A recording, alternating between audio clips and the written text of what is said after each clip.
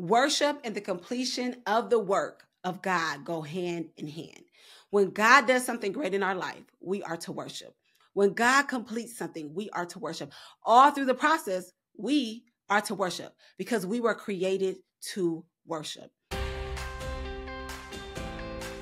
Hey there, family, and welcome back to my channel. Thank you so much for joining me for another Bible study as we are walking through the book of Nehemiah. Before we get started into the teaching and you reading it, I want to remind you to go ahead and subscribe to this channel. As we are entering the end of this Bible study, I don't want you to think that it is over from here. This is really like just the beginning. We're just getting started with doing these studies, and I don't want you to miss what's coming up next. God has already been highlighting some things to me that I know He wants us to dive into. So I don't want you to miss it. Go ahead, subscribe to the channel, and turn on those notifications in order for you to know when the next new thing comes out. The next thing that I want to mention, you probably have already heard, but just in case you haven't grabbed it already, go ahead and grab that companion study guide that goes with the Nehemiah study. It's really just going to enhance your time with God. You don't have to get it, it's not a necessity, but it is something I'm encouraging you to get because the questions that are in there are going to help you to dive deeper as you are walking through the book of Nehemiah. So grab that companion study guide, go ahead and subscribe to the channel. And now you know what we do from here. You're going to read it. I'm going to teach. You're going to reread it, and then we're going to talk about it in the comments. So it is your turn. Go ahead and read Nehemiah chapter 12.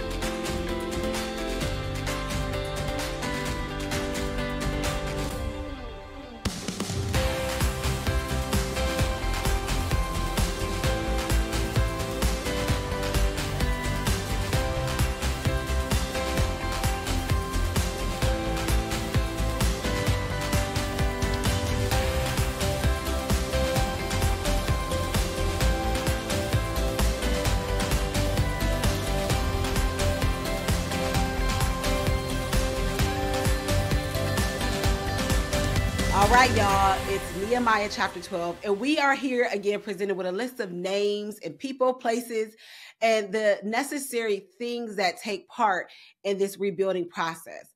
And Nehemiah chapter 12, in and of itself, is just one of those books that it may take a little bit more to digest. It took me a couple days to even be able to know what to share from this book. But when I sat down and spent some time with God, I had some worship playing, and I said, Lord, what is it that you want me to share with your people from this?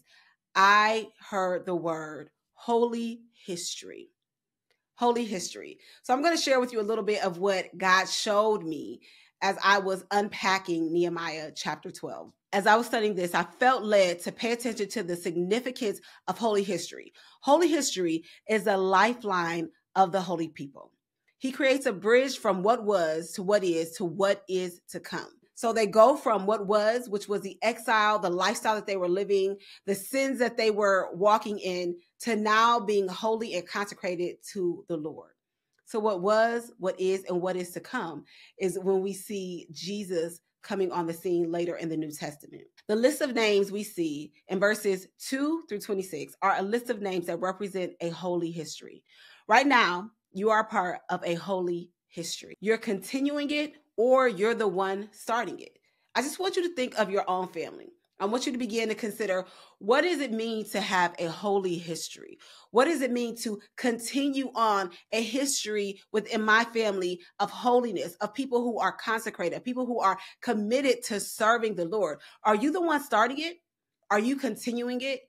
But I want you to look in this book as we are reading through the book of Nehemiah and recognize how much a holy history was a part of what he is revealing to us through this book. It's not just a list of names, y'all. It is a list of, of names of people who God said these people are a representation of holiness. They're a representation of what I want my people to model. They were priests, they were Levites, they were musicians, they were singers, they were family leaders. And the family leaders had to model and had to represent a holiness that would now become the essence of what Jerusalem would be. It was not just a place it was a place for people who wanted to carry the presence of God with them everywhere they went, because that's what holy means. It means to be consecrated and to carry the presence of God. So even in our lives, as we continue on a holy history, as we begin a holy history, we are beginning a history that is consecrated and that carries the presence of God. That is major. That is huge to know that I am carrying something that my children and my grandchildren, my nieces and my nephews, they will be able to look and see this is what a holy history looks like. That's what we are seeing in chapter 12.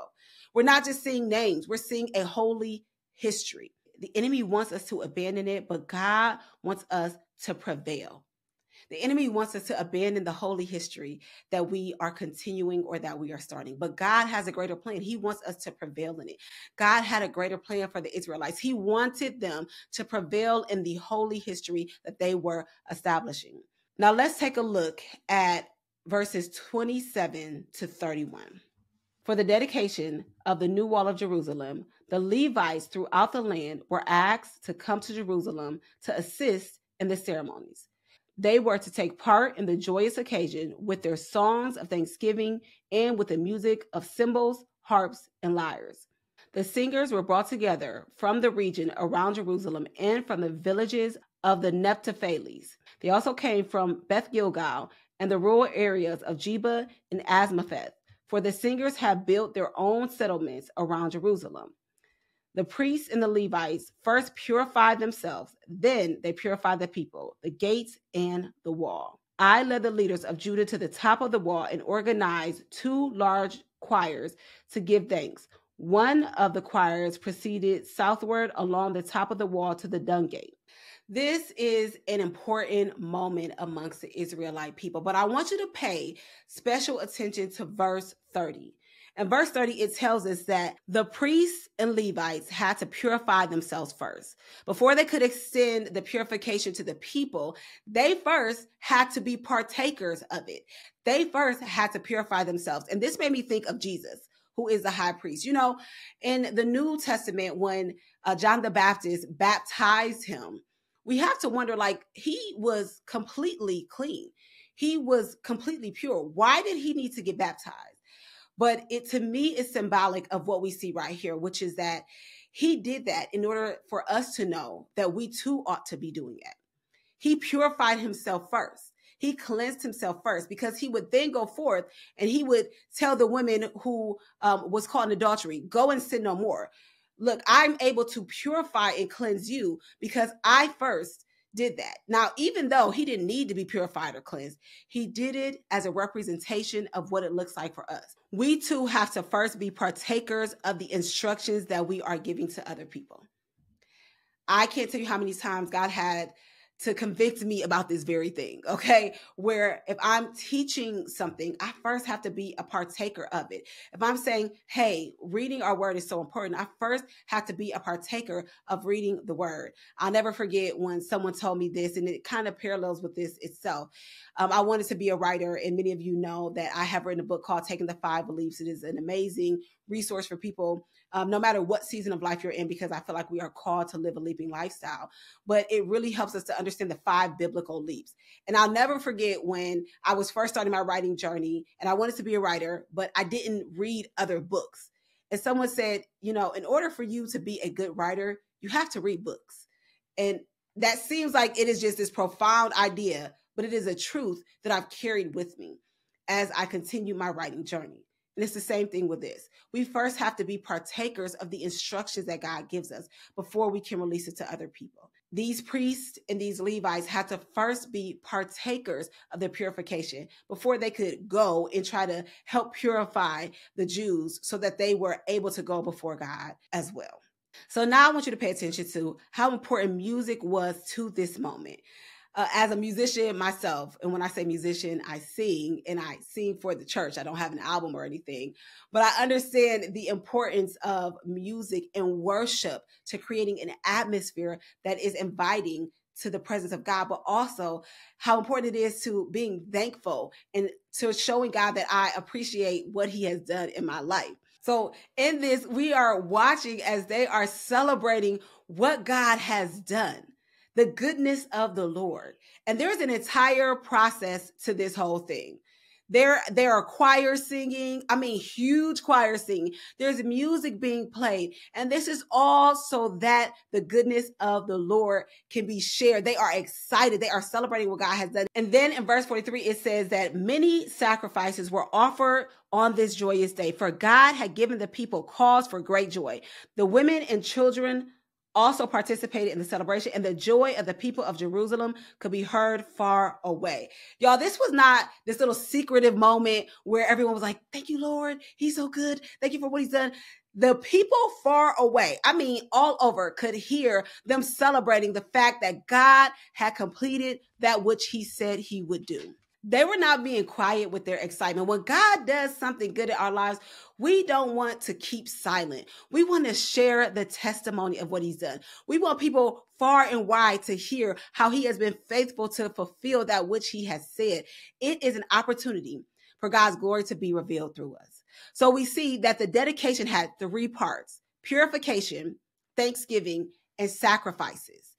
Don't forget that in that last sentence, the people took sacrifices as part of their celebration. But the chapter ends by expressing the necessity and expectation for ongoing temple worship. Now, as a singer, I love this because even when I was younger, you could catch me walking around the house singing my songs, worshiping God, singing as loud as I could until my sister would say, Rachel, why are you, why are you singing so much?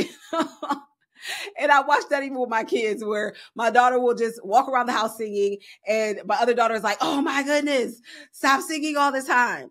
I believe that that's what was going on here. Is that there was just this continuous celebratory worship and thanksgiving and singing that was happening because they were so excited about what God did. So, as we get to the end of the chapter, we see that there is an ongoing worship that Nehemiah is inviting them into. Let's read verse 45 and 46.